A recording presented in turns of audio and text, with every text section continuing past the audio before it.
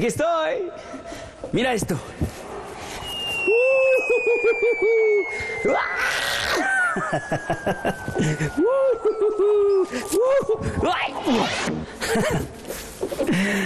¿Te gustan las alturas? A mucha gente le dan miedo. ¿eh? Mira, este es un libro de una gallina que se fue a vivir arriba de un árbol porque quería volar. ¿eh? Y allí se quedó. No le daba miedo. Las gallinas no vuelan. De Quetzal León Calixto. ¿Te lo cuento? Las nubes borrascosas invadían el cielo y poco a poco se acercaban. Traídas por el viento, algunas gotas perdidas encontraron refugio en el rostro de Clotilda, quien levantó la mirada del suelo y confirmó que allá arriba el azul brillante se había mudado lejos, a cualquier otro lado. Pronto, el cielo gris azulado cubrió a Clotilda y a los otros. Eh, todos habían corrido a cobijarse bajo el árbol más cercano. Pero Clotilda se quedó allí, petrificada en medio del páramo. Se quedó quieta mirando el cielo mientras el agua cubría lentamente sus patas. A lo lejos veía una intensa luz que bajó del cielo y se conectó con la tierra. ¡Oh! El sonido tardó en llegar, pero cuando lo hizo, retumbaron la tierra, los árboles, el viento, todo cuanto se encontraba en su camino. Aquella luz se replicó en los ojos de Clotilda y emocionada abrió sus cortas alas a la lluvia y comenzó a cacarear mientras corría en círculos.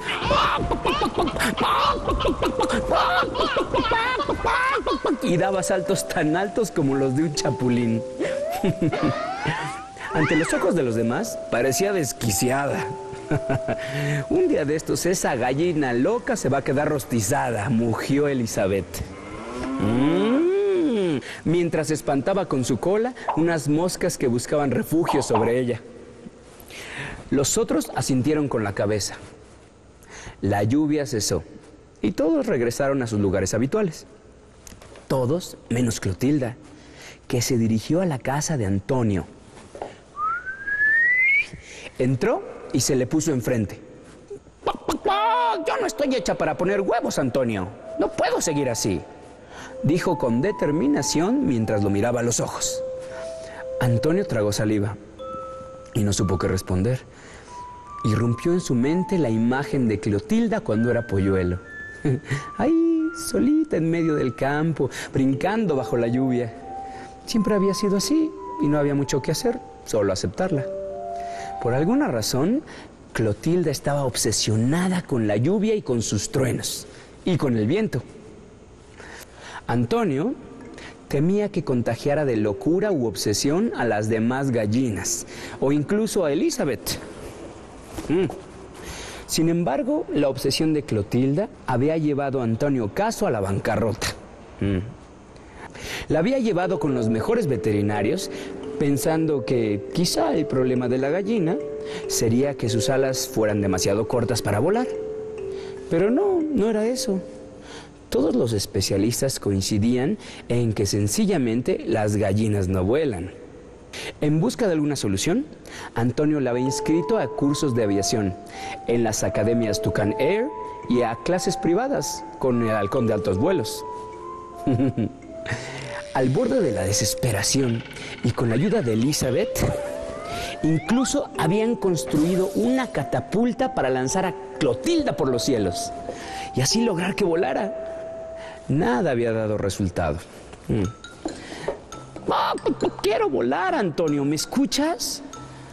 Volar y averiguar de dónde sale esa luz que aparece con la lluvia. Insistió Clotilda con la determinación que solo una gallina puede tener los martes por la tarde. Antonio, apesadumbrado, quiso decir algo que alentara a Clotilda, ofrecerle alguna otra opción, pero no la encontró. Clotilda no esperó respuesta. Dio media vuelta y se fue como hacía siempre después de la lluvia. Se dirigió al árbol más alto y viejo del páramo. Trepó en él, aferrándose con sus cortas patas y sus cortas alas hasta llegar a la copa. Y desde allí, entre las ramas mojadas, cacareó una vez y otra vez y otra vez, como si con ello quisiera alcanzar el profundo azul del que se desprendía la luz que todos llamaban rayo. Desde aquel día, Clotilda no había bajado del árbol. Cada vez que el cielo se cubría de gris, cacareaba con una voz tenue, casi languideciendo. Ni los fuertes vientos ni las tormentas veraniegas habían logrado volver a Clotilda al suelo. Ella sabía que su lugar no era la tierra, sino el cielo. Cada tarde, Antonio y los otros, junto con sus crías, se colocaban debajo del árbol para hacerle compañía a Clotilda. Roberta tejía chambritas para sus pequeños lechones mientras los miraba retosar en la tierra. Dora graznaba dormilada con el cuello metida en sí misma, acurrucando a sus polluelos. Y Elizabeth les leía en voz alta el periódico para así distraerlas un poco. Los días y las tardes transcurrían en el cálido barullo del campo, mientras el viento ligero acariciaba la hierba y esparcía su olor impregnando todo de amarillo, turquesa y mil verdes. Una tarde de viento índigo, impregnado de sal, trajo hasta el paraje un olor de lluvia que ninguno de sus habitantes había olido jamás. El tenue olor despabiló a Clotilda y ella abrió lentamente los ojos. Oh, a lo lejos podía ver cómo se acercaba la tormenta. El viento se hacía cada vez más fuerte y concentrado. Abajo todos estaban asustados. Nunca habían sentido un viento tan fuerte mezclado con lluvia color de mar. Clotilda supo en ese instante que por fin todos sus ruegos habían sido escuchados. La intensa luz aparecía y desaparecía y su sonido retumbaba como un gran canto de gloria, anunciando que algo estaba por ocurrir. El viento lluvia soplaba en una dirección y en otra al punto que Elizabeth y los otros tuvieron que sujetarse al árbol para no ser llevados por el viento. En medio de ese caos, a momentos iluminado por esa luz intermitente, Clotilda brillaba como si fuera una pequeña joya sobre el árbol. ¡Wow! En su rostro, la lluvia se hizo una con sus lágrimas. Entonces suspiró y abrió sus alas tanto como le fuera posible. En un instante, el viento elevó a Clotilda por los aires. Sus alas eran uno con el viento. La lluvia mojaba su cuerpo por completo, pero no importaba. Clotilda volaba y ese era el mejor momento de su vida. Desde el cielo miró como Antonio y los otros se hacían cada vez más pequeños. Desde más arriba pudo ver la tierra dividida en grandes cuadros y líneas verdes, cafés y amarillas. Planeaba sintiéndose parte de la tormenta mientras el sonido del trueno la hacía vibrar. La luz la cegaba y Clotilda sentía el intenso calor que provenía del rayo. Por fin sabía dónde se originaba todo. Arriba, Arriba, más arriba aún, las nubes esperaban. Todos vieron volar a Clotilda, pero ninguno supo nada de ella después de ese día. La imagen de Clotilda, pequeña y completamente blanca sobre el cielo azul y furioso, permanecería en sus mentes por muchos, muchos años. Aún hoy, Elizabeth y los otros miran siempre al cielo esperando a ver entre los azules tenues y púrpuras del atardecer alguna forma de nube que les recuerde a Clotilda. Uh.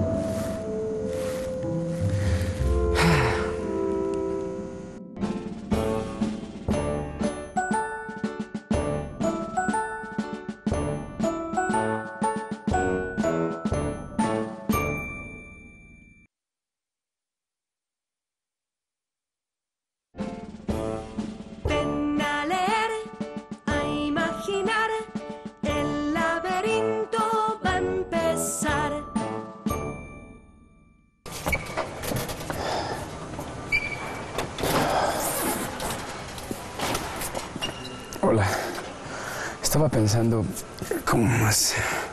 ¿Qué hacer con mi miedo a los perros? En otro libro leí que lo mejor para terminar con los miedos es enfrentarlos. Yo guardé aquí los libros de los perros porque me dan miedo. Mira, lo puse hasta acá abajo. Nunca lo he leído. Oh, solo de pensar en el perro me aterraba.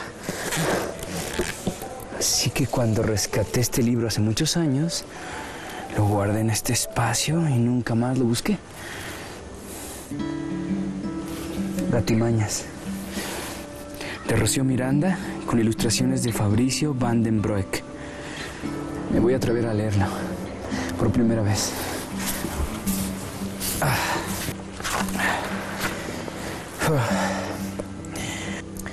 Qué necios resultaron en esta casa. Insisten en cargarme y acariciarme cuando todo el mundo sabe que a los gatos no nos gustan los extraños. Y yo a estos ni los conozco. Inclusive, cuando llegan a ganarse nuestra confianza, hay que hacerlos entender que nosotros elegimos con quién estar. Además, huelen rarísimo. No he podido acostumbrarme. Cada vez que se me acercan, los solisqueo esperando que hayan mejorado, pero apestan igual. Para colmo tienen perro. Huele menos feo que ellos, pero es un perro. Es de todas formas insoportable. Estaba seguro de que me molestaría, de que me corretearía para tratar de morderme, pero no. Resultó ser una perra más bien tonta, aparte de fea. No logra diferenciar las órdenes. Si le lanzan un palo para que lo traiga de regreso, va por él, pero se echa a correr en otra dirección. Si le ordenan sentarse, brinca. Si le ordenan correr, se echa. A mí, desde luego, me tiene sin cuidado que obedezca o no. Para efecto de mis intereses, es mucho mejor que sea tonta. Así los mantiene entretenidos con la esperanza de que aprenda, mientras yo hago exactamente lo que me place. Mi mamá me enseñó un viejo truco. Decía que los humanos creen que los perros son más inteligentes que nosotros y por eso les exigen que aprendan tantas cosas. Así es que nos iría mucho mejor si aparentábamos no entender. Cuando algún humano ignorante trate de enseñarte gracias, decía también, ni lo mires. Quédate exactamente como estás, inmóvil, como una estatua. Y ya verás que te dejará en paz. ¿eh? Y si acaso es terco e insiste, como la mayoría, vete a otro lugar terminará por aceptarlo. Mi madre era muy sabia. La perra se llama Cata. Era imposible no enterarse de inmediato porque todo el tiempo le gritan. Parece que no supieran que los perros tienen un oído extraordinariamente sensible. Porque cada vez que Cata hace algo que no les gusta, le gritan. Y como ya dije que es tonta, pues a cada rato oigo, que no, Cata, Cata, deja eso. Que no entres, que te vayas de aquí, Cata, Cata, deja eso. Y así todo el día. Por si acaso, en la primera oportunidad que se presentó, fingí que le tenía miedo a la perraza aquella. Así, todos se encargarían de que no me molestara. ¿Mm? Fue más fácil de lo que pensé, porque estos son igual de tontos que los perros. Creen que el tamaño nos asusta como si no pudiéramos brincar a alturas insospechadas mucho antes de que ellos lo piensen siquiera. La pobre entró a la cocina creyendo que como era la hora de su comida, seguramente ahí estaría su plato servido. Pero se topó conmigo. Y como bien sé de esa extraña costumbre que tienen los perros de andar oliendo el trasero a quien se deje, me quedé quieto, esperando que lo intentara. Y tal cual, Apenas se acercó un poco a mí con su cara de sonza, adopté la típica actitud felina de ataque y defensa. Parado en puntas, el cuerpo encorvado, las orejas gachas hacia atrás y gruñendo horrible. Enseguida me arranqué a correr por todos lados, entre los pies de los demás, entre las patas de las sillas, tiré el bote de basura, maullé a todo volumen. La perra no sabía ni qué hacer. Solo atinó a dar algunos ladridos que nada más lograron empeorar las cosas. Quizás exageré. Después de todo no es mala, pero sí muy torpe. Siempre que la llaman, viene como estampida de búfalos. Claro, todos nos echamos a temblar esperando lo peor.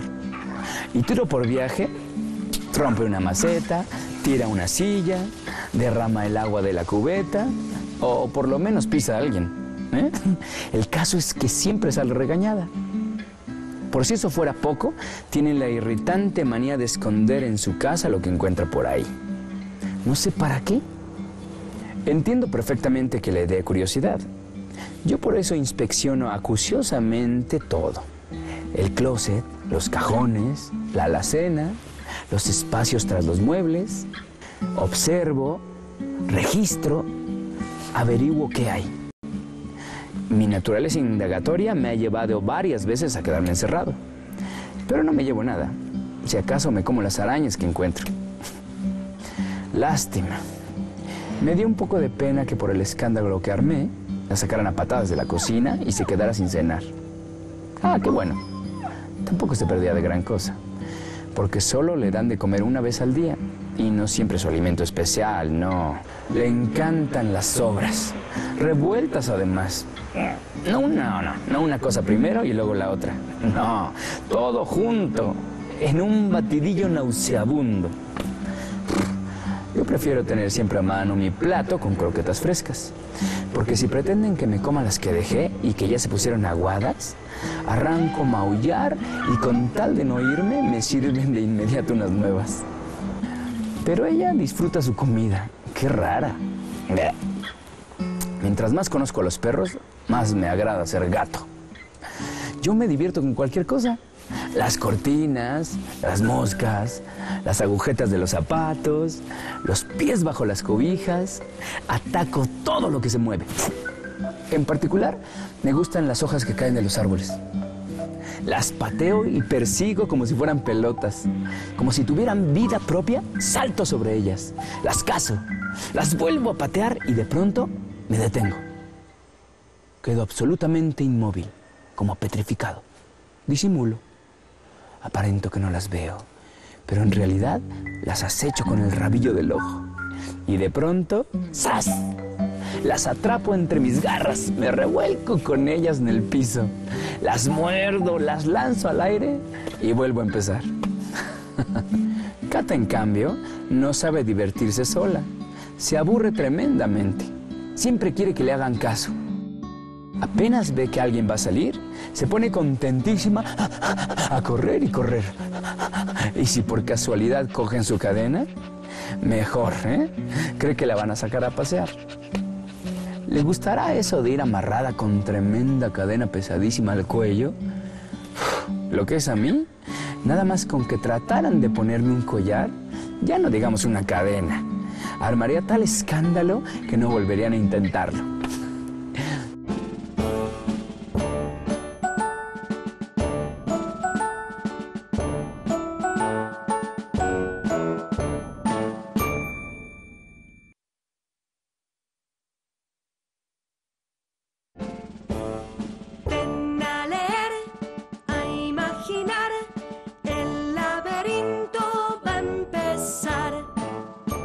Por casualidad cogen su cadena, mejor, ¿eh? Cree que la van a sacar a pasear. ¿Le gustará eso de ir amarrada con tremenda cadena pesadísima al cuello? Lo que es a mí, nada más con que trataran de ponerme un collar, ya no digamos una cadena, armaría tal escándalo que no volverían a intentarlo. Dicen que los gatos tenemos un sexto sentido que nos permite conseguir lo que queremos. No sé. Yo creo que solo es cosa de insistir. Como decía mi madre, si te gusta un sillón, pues échate en él. Te quitarán una, dos, tres veces, pero a la larga terminarán por entender que ese es tu sillón y ya no te molestarán. ¿eh? Cuando mucho tratarán de que lo compartas con ellos, haciéndote cariños. Pero no te volverán a quitar de ahí. Pero esta perra, de veras que no entiende nada. Comete una tontería tras otra. El otro día, por ejemplo, mientras yo cazaba un pájaro, por aquello de mantenerse en forma, ¿no? Pues uno no sabe cuándo tendrá necesidad de buscarse el alimento. Se puso a ladrar y a brincar como una loca. No me sorprendió, porque siempre ladra a todo lo que le parece extraño. a las ardillas que andan en los árboles, a las personas que se paran frente a la casa, en fin, hasta el timbre de la puerta cuando alguien toca. No sé para qué demonios ladra cada vez que alguien toca la puerta. Ha de creer que todos los demás somos sordos. El caso es que ese día se puso peor que de costumbre. Ladraba con una insistencia, brincaba hacia el árbol. Y no había ardillas, solo estábamos el pajarraco y yo. A saber qué quería hacer. Si no fuera porque la conozco, pensaría que quería ganarme la presa. Claro que no podría, cuando se ha visto que un perro suba a un árbol. Lo único que consiguió, además de amargarme el bocado con el susto, fue lastimarse una pata. De por sí fea y torpe. Pues ahora de pilón, coja.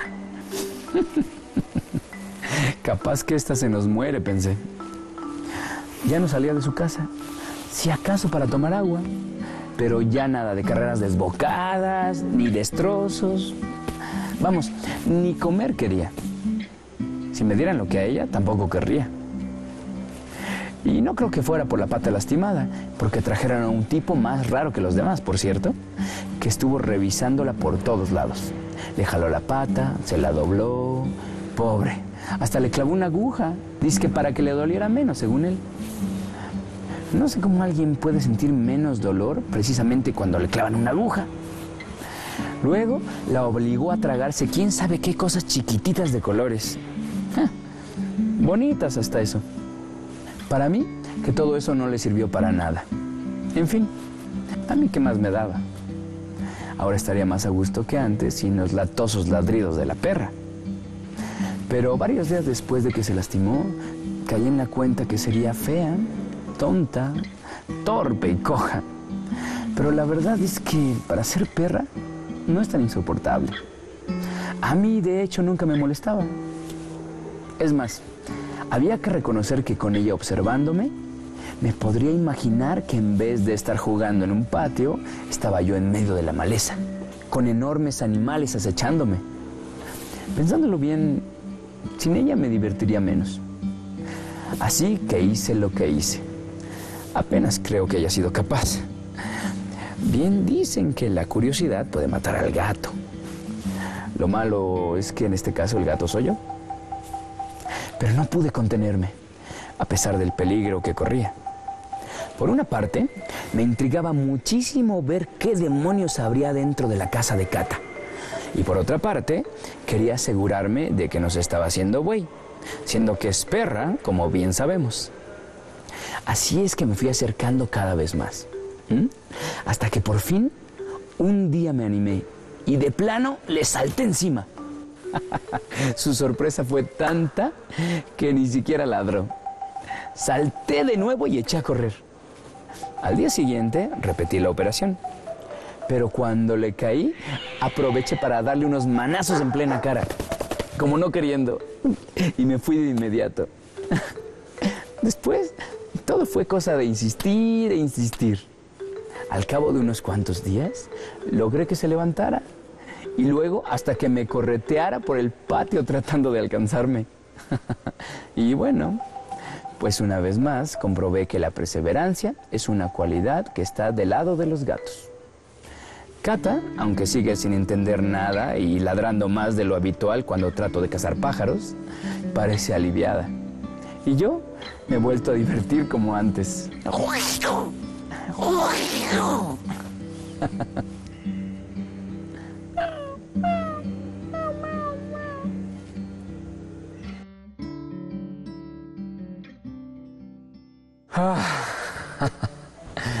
No puedo creer que esto me haya dado tanto miedo. ¿eh? Es cierto que lo mejor que se puede hacer con el miedo es enfrentarlo. Para la próxima vez que vengas, voy a buscar otro libro que habla de miedos. Porque no es malo tener miedo, pero también se puede cambiar. Y más vale cambiarlo.